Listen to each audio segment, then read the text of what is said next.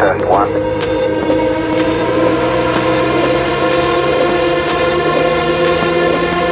Okay, we take all four systems and there you go on modulation